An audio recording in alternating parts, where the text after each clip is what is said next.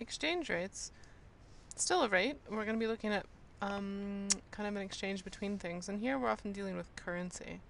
So like our last example with uh, using the units to help us determine how we write our ratios and our rates here, we're going to pay attention to the units here. And we're going to think about putting the units of the currency that you want on top of the rate that you write.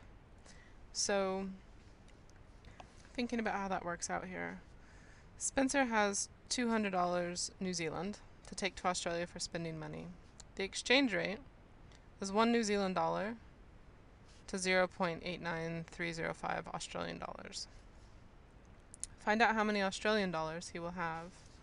So here, I want Australian dollars in my answer.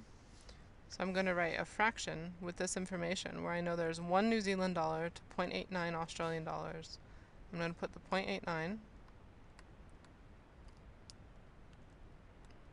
Australian dollars on the top.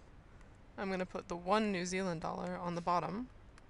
And I'll times it by the 200 New Zealand dollars that he has.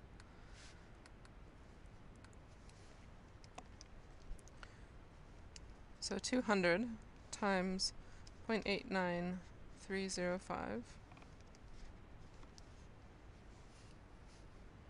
and we get 178.61 Australian dollars.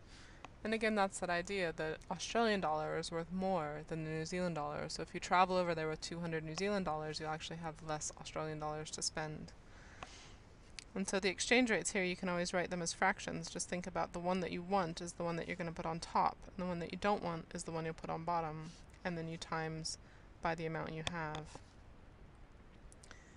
As another example, um, talking about traveling to Europe, one thing that can be confusing sometimes with exchange rates is that you'll see them written in two different forms. So for instance, I just talked about how much one New Zealand dollar was worth. One New Zealand dollar is worth 0.89 or 89 cents Australian roughly.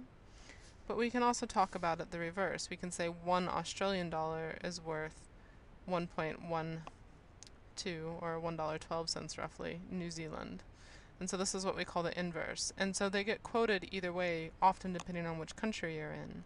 But if you just pay attention to what how it's being said, you can figure out how to write your fraction. So here, Lulu has been traveling to Europe.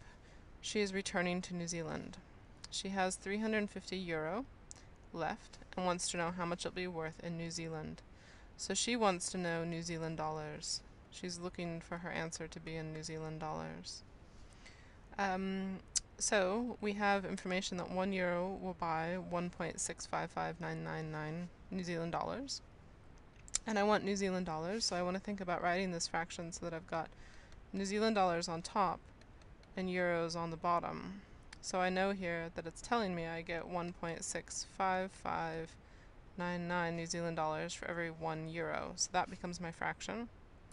And I'm going to times by the number of euros that she has, 350.